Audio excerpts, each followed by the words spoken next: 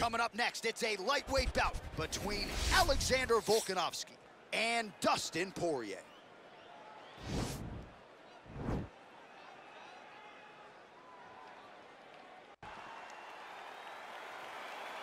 Are you ready?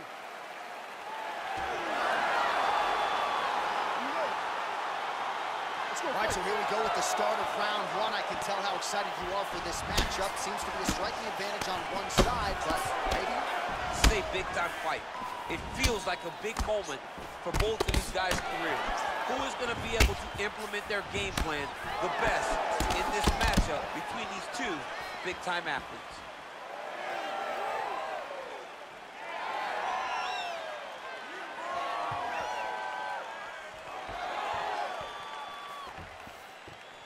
Beats the elbow there. All right, so the former interim lightweight champ Dustin Poirier in a good striking throw here tonight, DC. That left hand nearly put his opponent out. Nearly puts him out, and you can't take many of them. Dustin's so big and physically strong for 155. I can't believe he's to fight at featherweight. He looks like he could never have made that weight. He's found his home at lightweight, and you see the damage he could do with one shot. Oh! He needs to start looking to finish now because he's got his opponent hurt very bad. Now they're both throwing with power.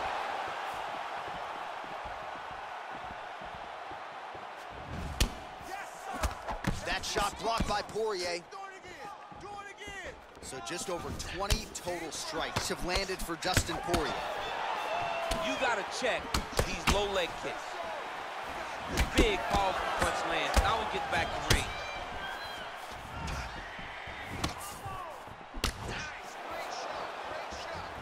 Look at him working at trying to shut the liver down. Man, he's just got a great feel for the striking realm early in this one. The timing is on point. He's doing a great job of mixing everything up. Over and over. I'm not sure his opponent knows where he is. No, he is on Beach Street right now. You see his tweet bird over the That'll do it! Unbelievable. What a performance.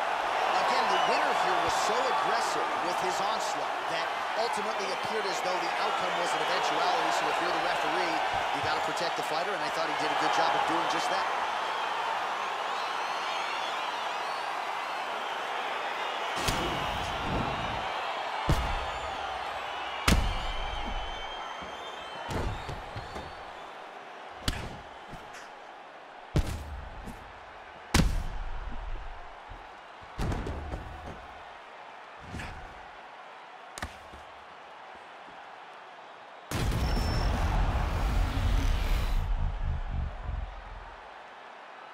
So a seminal moment for him here tonight as he gets the victory by TKO.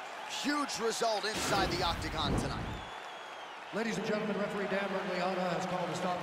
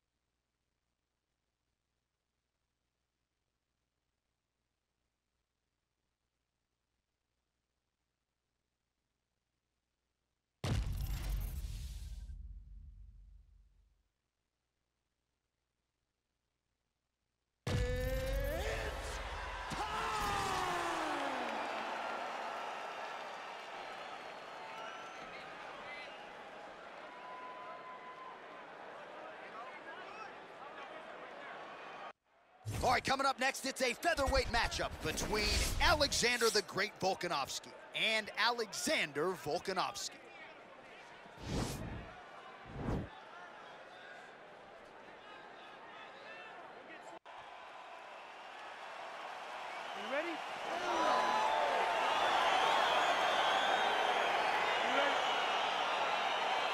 Right, so here we are back inside Bell Center, Montreal, Quebec, Canada. This is as loud and as knowledgeable a crowd as we'll experience really all year on the road. Well, perhaps a sign of things to come as he lands a kick there. Nice kick landed by the gentleman. Mixes it up nicely in terms of staying heavy and also staying active. Oh, lands a stiff punch there. Nice connection. Didn't like that left hand. He's got him hurt here. Oh, big knee. Oh, Put him to sleep. oh, look at that. He leapt up and landed the diving punch to the head. Well, there are a few things more fun to watch in mixed martial arts than these type of transitions and scrambles on the ground. High-level grappling can really be entertaining. I love watching this guy move on the ground. Another nice transition there. Such a, now he'll try to start attacking a rear naked choke from the top position. He is doing a really good job of relaxing, not panicking because he's getting choked.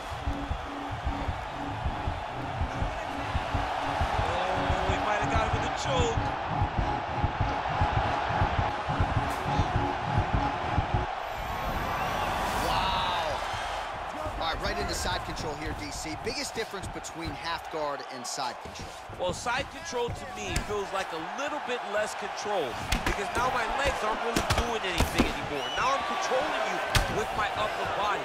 So I've got to be very, very aware. It's still advanced. This might be the biggest shot of this entire fight. He lands a massive hook to put his opponent on wobbly legs. Oh, big head kick there. Oh. So just over 20 total strikes have landed. Really bad. He's got him hurt here. He loaded up there on that high kick. They're going at it now. Oh, my goodness. That was landed clean. Throws a big right hand, but doesn't find, find its home. Big call. Get back straight. He's out.